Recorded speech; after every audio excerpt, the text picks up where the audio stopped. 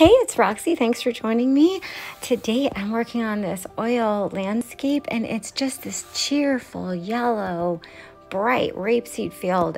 And I just wanted it to be so happy. Like you just look at it and you feel happy and you want to go out there and be in that breezy landscape. Anyway, I hope you enjoy it.